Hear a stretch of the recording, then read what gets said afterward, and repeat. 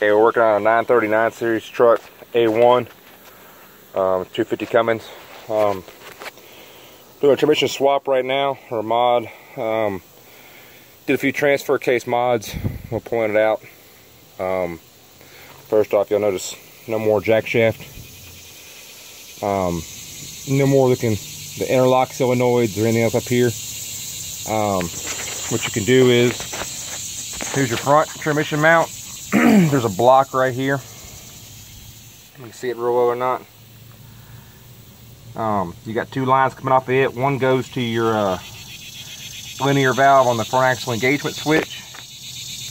And then the other one goes to the uh, little round interlock solenoid on top of the transfer case in that bracket.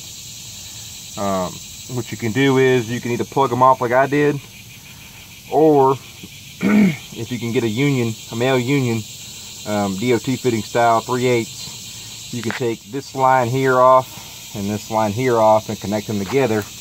And that'll just send your air right to the front and it gets rid of all the air um, coming off of those. That's got this actually line actually goes to the yellow line here. Goes all the way around on the frame behind the air dryer and that little beam up and then to here off your pressure protection valve. Um, and then yeah, it goes that way so, but you can put those two off.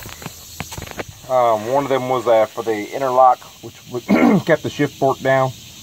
Um, you can just plug that off, and then run. You got a line that goes to your uh, to the long uh, stick on the linear valve, the long uh, fitting.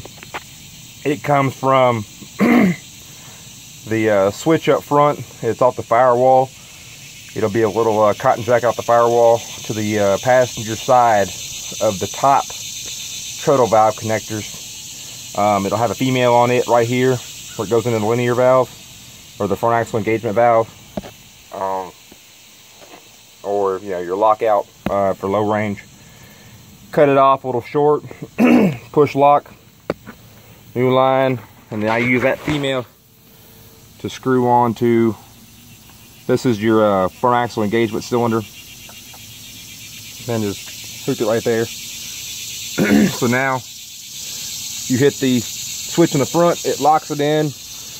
Um, if you're with the Allison, you have to still keep the uh, uh, the button on the uh, shifter to go through the uh, uh, torque converter to unlock it so you can shift gears a lot easier between low and high. I won't have that problem with the new transmission. Um, so do that. There's no more air problems. It's straightforward, single air, shift and go. Thanks to Swamp Donkey on this mod.